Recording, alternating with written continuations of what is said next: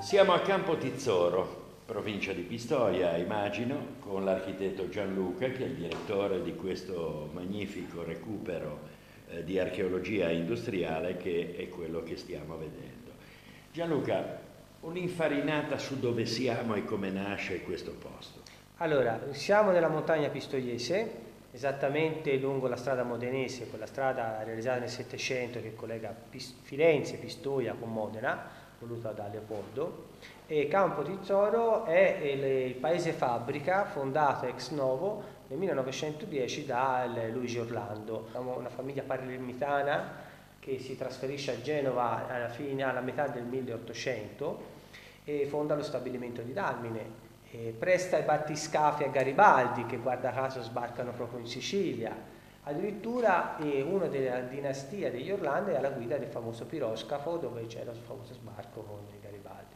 È una famiglia di industriali che eh, hanno fatto praticamente la storia d'Italia. Una volta unita l'Italia, entrano ovviamente come industriali che hanno sostenuto lo sforzo eh, del nascente Stato, hanno la missione di industrializzare l'Italia e lo fanno in una maniera sistematica, dei, impiantando degli stabilimenti produttivi in zone eh, completamente depresse. E la montagna pistoiese all'inizio del Novecento era rimasta al, al, carbone come attività, quindi alla, all'attività del bosco, alle transumanze per, perché c'era ovviamente la produzione legata alla pastorizia e parecchie migrazioni in Maremma. Quindi praticamente loro vanno a impiantare l'industria pesante, nel vero senso della parola, in prossimità della eh, Porrettana, che era l'unica ferrovia che collegava l'Italia dal nord al sud, e, e, loro praticamente dalla mattina alla sera danno lavoro a un indotto fra operai e indotto a più di 40.000 lavoratori. Considerate che era gente che eh, non riusciva a mettere il pranzo insieme con la cena. Una fabbrica, tra le altre cose, dove e si trasforma in materiale lingotto che arrivava in ferrovia e si trasforma dentro e si produce il famoso laminato e la bandella, cioè sono due sottoprodotti di semilavorati su cui viene fatto di tutto. Si fa dai chiodi, si fa le monete, si fa gli attacchi Edison per le lampadine, si vende il prodotto per altre industrie, si fa delle spille da baglia, si fanno, si fanno principalmente proiettili, perché la fabbrica di Campo Tizzolo, come le altre fabbriche gemella a Fornaci di Barga, perché loro fanno anche un altro stabilimento gemello, eh, nasce principalmente per eh, armare le nostre forze armate. Qui si fa la, il, il, ehm, il, calibro leggero, cioè la, ehm, il piccolo calibro, fino al massimo 20 mm come dimensioni, e, e qui si fa la famosa cartuccia del 91 la famosa eh, fucile che ha fatto la storia d'Italia, un fucile che è stato utilizzato da, dalle ultime guerre risorgimentali perfino fino al 2000. Le stesse forze dell'ordine quando sparano i lacrimogeni hanno un vecchio 91, un vecchio 91 modificato e tutto. È interessante, eh, direttore, quello che mi raccontava poc'anzi, cioè che costruiscono questo stabilimento che vediamo mm. provvedendo a far sì che nasca tutto all'interno, sì. cioè la sì. mensa. La... Esatto. Racconti un attimo questa allora, cosa. Allora, è, chiaro che impiantare un'industria di queste dimensioni in un territorio che non, c'era nulla, c'era un campo, campo tizzoro, era proprio campo dei tizzoni perché c'era le carbonelle, si faceva il carbone.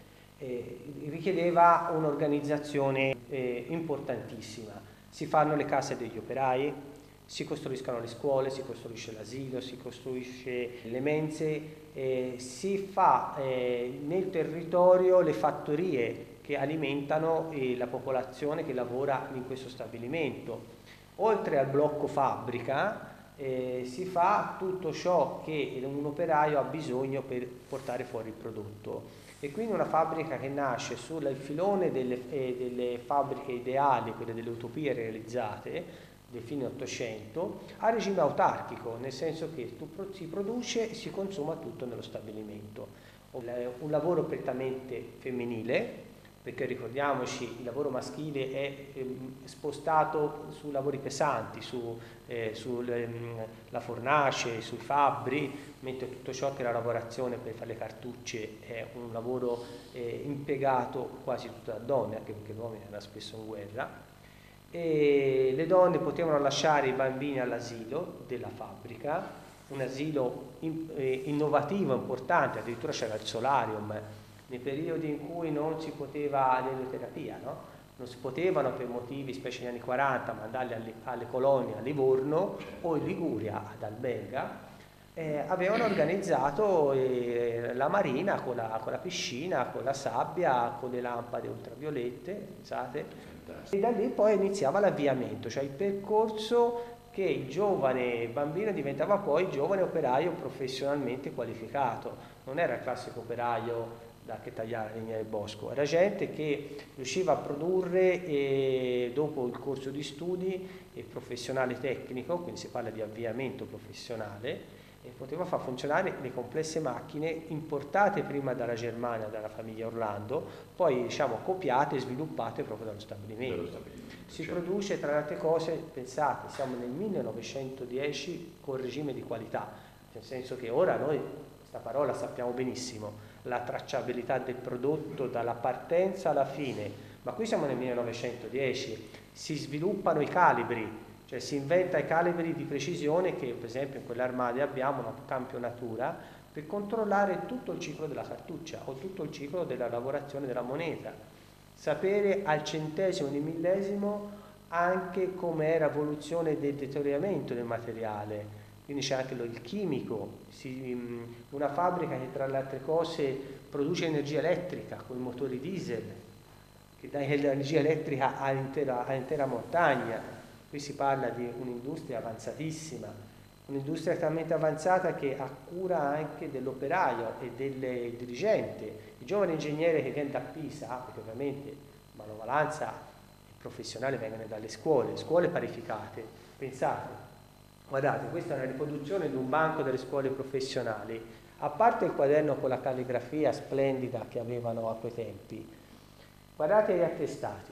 Gli attestati non c'è scritto sopra Ministero della Pubblica Istruzione, c'è scritto Società Metallurgica Italiana, una parificata di eccellenza.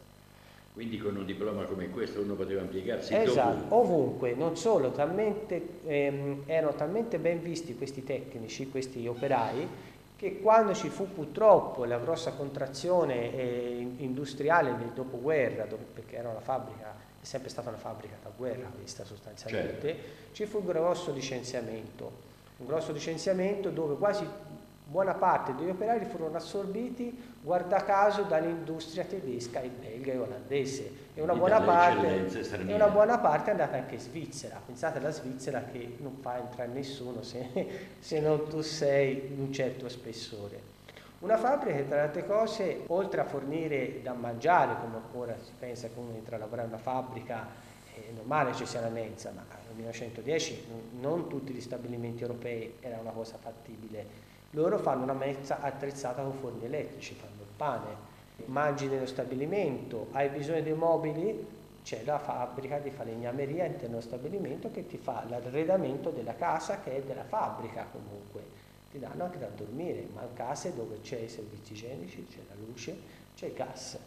Siamo sempre nel 1910, pensate, i primi impianti a gas Pistoia ce l'ha quasi quasi a ridosso degli anni 20, cioè dieci anni dopo ed era la città, non la montagna. Una fabbrica, tra le altre cose, eh, permetteva anche eh, di avere tempo libero, che turni di otto ore, e anche qui altra rivoluzione industriale. Perché all'epoca si lavorava 12 ore al giorno. Si lavorava, loro lavoravano 8 ore al giorno, avevano il dopolavoro, avevano la squadra di biciclette, avevano la scuola di ginnastica, avevano la corale imponente, una corale che cantava con delle rassegne nella chiesa di Santa Barbara, costruita dallo stabilimento, aveva um, i campi da tennis. Un industriale illuminato questo si Esatto, esatto. Gli Orlando sono stati illuminati, ma lo sono stati anche nella fase finale quando ho proposto di fare il museo. Dove allora, ci troviamo adesso? Noi siamo nella sala delle caricatrici Flix Vener, che sono una delle tante macchine che confezionavano la cartuccia, prodotto finale, cioè dove si mette l'ogiva, la pallottola, insieme alla cartuccia e insieme al, all'innesco, che è la capsula che si mette nella parte inferiore. Non solo eh, confezionava dei componenti metallici, ma caricava ovviamente la cartuccia con i granelli di polvere che venivano dallo stabilimento di Livorno. Sono macchine eh, meccaniche a controllo ad olio, alimentate prima eh, con albero di trasmissione a cinghia, poi elettrificate. Pensate, macchine del 1910 che hanno funzionato fino al 2005 per confezionare il 762 calibronato. Da quanto erano precise, queste sono andate avanti quasi 100 anni. Ma hanno fino al 2005? Fino al 2005 che eh, erano perfette, perfette dal punto di vista meccanico, avevano raggiunto proprio la perfezione del, dell'attività di confezionamento. Lavoro prettamente femminile, c'era la donna, scarpa antinfortunistica con gli zoccoli di legno, ovviamente niente calze di nylon, perché ovviamente si poteva con i fuochi certo. dare, dare l'innesco, e guanti di lana, perché ovviamente non si poteva toccare l'ottone, se no l'impronta si ossidava ovviamente. subito e si inceppava nell'otturatore del fucile. Qui abbiamo una, un ciclo di lavorazione di tutto ciò che viene prodotto nello stabilimento e in particolare l'evoluzione della pallottola da quella che era prima in piombo puro al, um, al trattato di Ginevra che nasce la Croce Rossa ma si inventa anche la pallottola incamiciata perché il piombo deve fare più danni deve, fare, deve salvare se si ferisce il soldato il piombo non si deve spappolare però cosa si inventa? Nella pallottola incamiciata è un contenitore, quindi si inventa la pallottola incendiaria, il tracciante, l'esplosiva, il perforante, il perforante esplosivo. c'è tutta un'evoluzione legata alla storia della cartuccia. In particolare uno stabilimento all'avanguardia anche sugli inneschi, Qui si inventa le miscele e l'evoluzione della miscela del fulminato di mercurio. Si passa dallo stifionato di mercurio che era corrosivo per gli otturatori, eh, ferrosi ovviamente, si inventano nuove miscele fino all'innesco elettrificato per il famoso 20 mm Vulcan, che è quel mitragliatore rotante che, che, utilizzano sempre i nostri eserciti di tutto il mondo, che sparano una cosa pazzesca, tipo 8-9 mila colpi in un minuto e ovviamente non ci può essere un percussore che picchia su a martelletto certo. su, e loro inventano la scarica, un innesco a scarica elettrica. Hanno qualcosa come 8-9 mila brevetti dal punto di vista industriale, quindi sono sempre state all'avanguardia.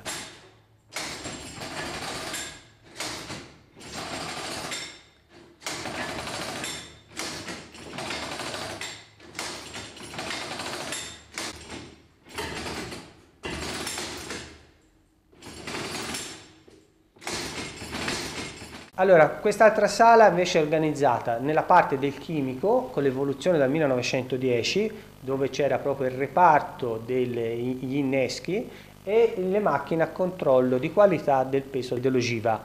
Macchine anche queste qui qua dietro che vedete verniciate di verde ma elettrificate in due fasi, ma sono macchine del 1910 che hanno funzionato fino al 2005 dal livello di perfezione che avevano. Questi cascava per esempio l'ogiva da, da quella tramoggia in questi bilancieri ad olio, la macchina girava, la, partu, la, cart, la, cartuccia in base al peso veniva canalizzata nei, nei puntoni e veniva eh, divisa fra il calibro piccolo, cioè quindi leggero, pesante o medio. Quella difettosa veniva scartata e rimandata alla magona. Anche queste macchine tuttora funzionanti, perfettamente mantenute, e che hanno prodotto pallottole fino a poco tempo fa. E non c'è un filo di ruggine, ovviamente avevano, erano bravi fabbri, se si rompeva un pezzo li riparavano. La cosa fantastica è che qua invece abbiamo ancora tre unici pezzi delle fiasche con cui veniva fatto il composto chimico che una volta disidratato diventava il famoso fulminato di mercurio. Pensate che era talmente ehm, incendiario e instabile, e instabile che una volta disidratato lo spostavano nei reparti con la cappelliera a piccole dosi. Partiva uno con questa cappelliera, ovviamente il contenitore tutto di cartone e, e imbottito e lo portava al caricamento dove c'era le cottimiste, ragazzine con dei sacchetti di seta, lunghi tavoloni, bucavano il sacchetto di seta e poi diciamo, infiascavano le capsule che poi andavano in una pressa e venivano sigillate. lavoro che facevano ragazze eh, dai 12 anni in su. In su.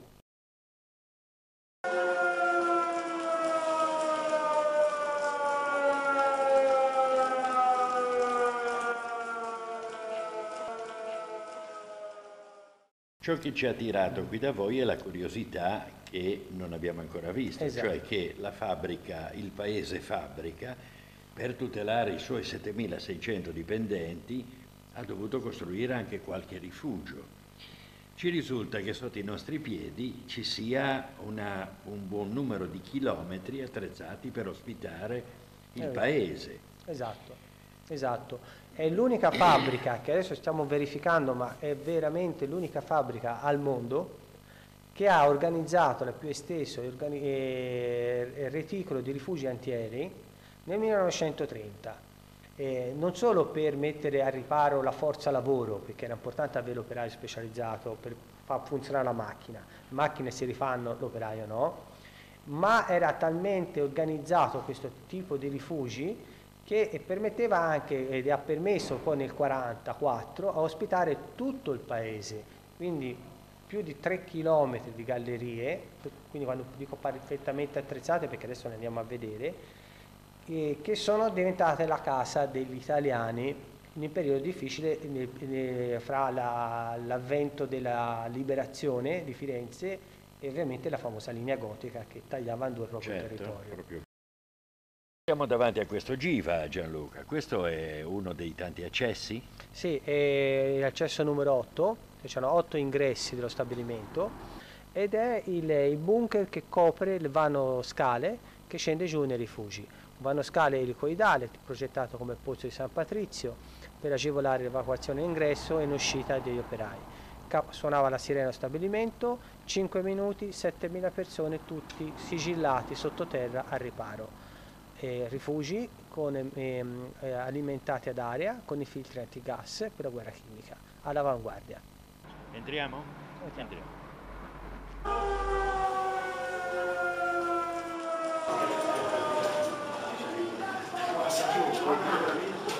Allora, qui troviamo la perfetta organizzazione della fabbrica nel- negli anni 30, quando vengono realizzati questi rifugi. Ogni ingresso eh, ha il suo pronto soccorso, che è perfettamente attrezzato con, eh, con, ehm, le brandine.